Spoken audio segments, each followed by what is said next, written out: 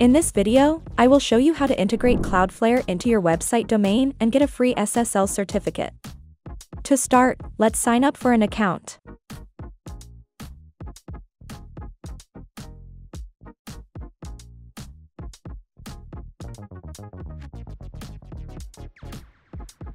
Head over to the website's menu tab. Add site.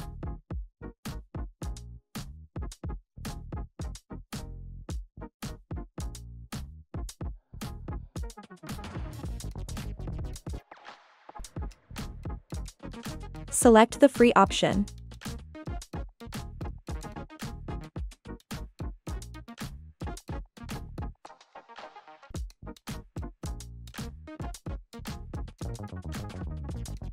Make sure that all existing DNS records from your current DNS provider are accurately listed in Cloudflare, and confirm that the proxy status is set to a proxied. Copy Cloudflare's name servers. Next, go to your domain registrar. For this example, I registered my domain on Namecheap. Another domain registrar your site could be registered with is GoDaddy.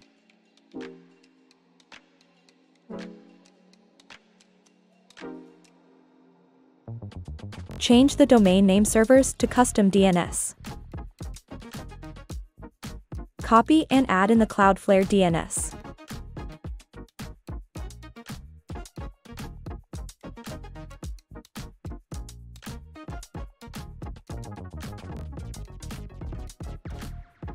Go back to Cloudflare.